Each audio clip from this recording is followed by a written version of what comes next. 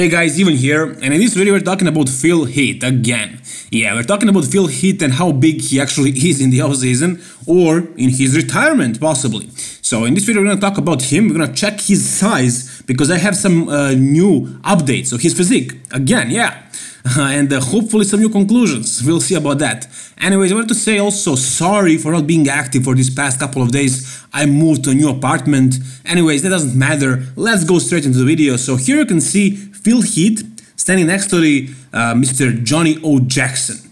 One of the strongest bodybuilders of all time, the training partner Branch Warren. I'm sure you know about him. Johnny was a great bodybuilder, one of the best traps in the history of bodybuilding, possibly the best traps ever, but the reason why he was never like in the top 5 of the Mr. Olympia were his legs, that were absolutely horrible. It doesn't matter now, he was one of the strongest bodybuilders of all time and he was training partner of Branch Warren, and so he was a great bodybuilder, but he is retired. He actually announced his retirement. Now he's standing next to Phil Heath. But why am I telling you this? How can you make any conclusions based on this? Well, because of this, let me show you this. This right here obviously is Hadi Choopan standing next to Johnny Jackson and you can see the size difference, you can compare him to Phil Heath based on this photo right here.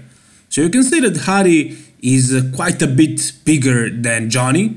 Uh, forearms are pretty much the same but the arms and the shoulders I'm sure Hadi would definitely dwarf Johnny's legs, uh, even when Johnny was at his prime, let alone now when he's retired. But you cannot really see it here, it's, uh, it's a bad angle. This photo is probably taken by a tall person and these two guys are very short. Both of them are very very short. Anyways, it doesn't matter, I mean you can see the size difference and you can compare it to Phil Heath standing next to Johnny Jackson. So, what do you make of it? Honestly, I'm not sure, because uh, the angle and the pose are very important. But let me tell you something, these guys absolutely do know what out-angling is. Bodybuilding is their profession and uh, they are probably taking more photos than they are actually competing. So they do know what out-angling is and uh, even though they, they're trying to make it seem like they are naive and they have no idea about it, I'm sure they all know and they're always trying to get the best angle. So right here you can see that uh, Phil Heath doesn't really look that good as he looked on that video where he was training his biceps. In this video right here he looked huge, he looked seriously huge. Probably he was just pumped up, I'm not sure. But uh, right now without a pump, without a tank top, and while standing next to a bodybuilder, a retired bodybuilder, uh, such as him possibly, then he doesn't look that big, he doesn't look that big. Now, Phil Heath is basically known for not really giving a damn about how he looks in the photos.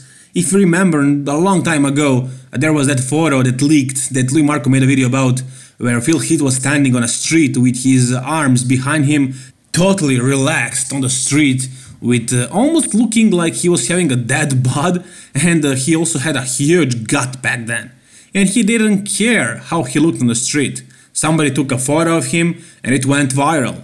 So he doesn't really care how he looks uh, off the stage, and he, he never really seems like he's trying to outangle other people or bodybuilders. Uh, and it's understandable, he's probably confident enough since he is the, the, the Mr. Olympia champion seven times in a row, uh, one of the best bodybuilders in the history of the world. So he has some confidence. He doesn't need to prove himself, and that's how he feels, it seems. But uh, what can we do but judge his photos? I mean, we can see right here that he doesn't look very impressive, very big, right? Then again, it could be all about the angle.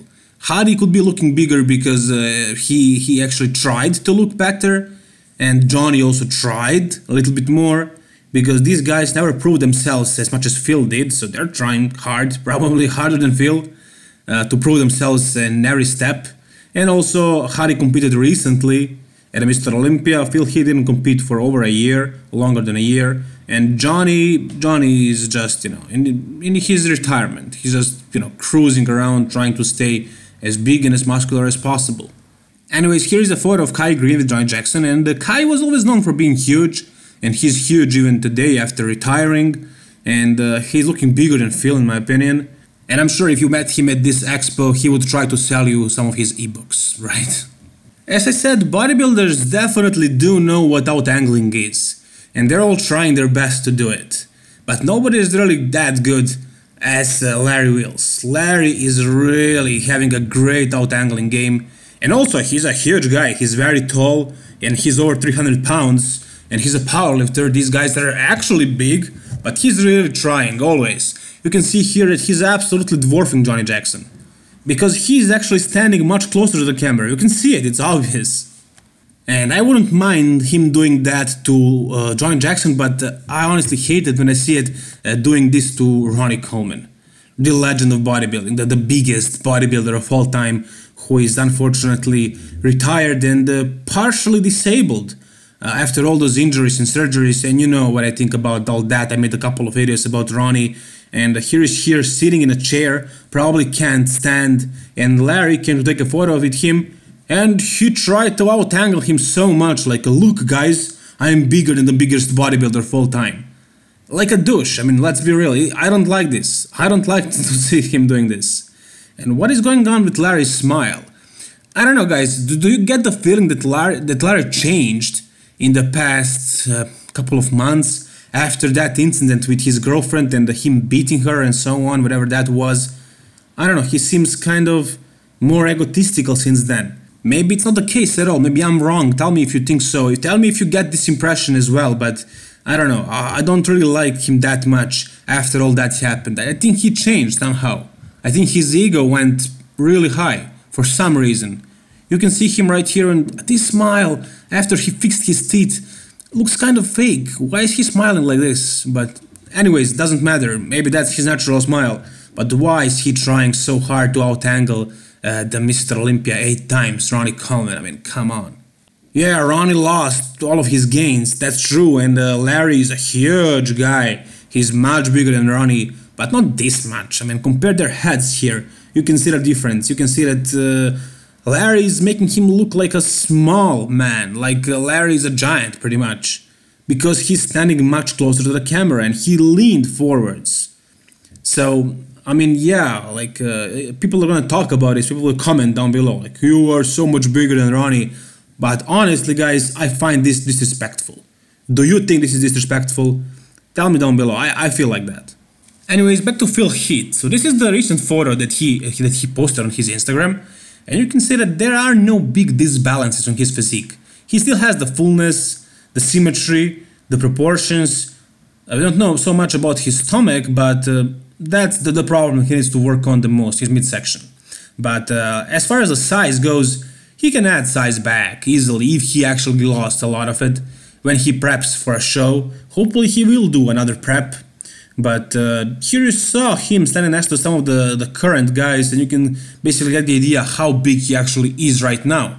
Just, you know, out of curiosity. It doesn't really matter uh, how will he do at his uh, future shows. If he wants to compete, he will regain his size back easily, I'm sure about that. And he will be the most conditioned guy uh, up there and everything. So it's all about the midsection pretty much at this point, and uh, whether he's gonna uh, regain his Mr. Olympia title not to win any other shows really because he can win any, any show pretty much. It's only the question of can he win the Sandow back and i believe he can if he wants to. So what do you guys think? Tell me down below in the comment section. Like the video if you enjoyed it and uh, thank you so much for watching. All the best guys and bye bye